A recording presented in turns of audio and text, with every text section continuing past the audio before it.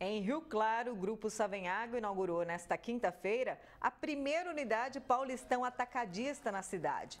Localizada no Jardim América, a loja tem como principal foco abastecer e garantir produtos de qualidade aos consumidores.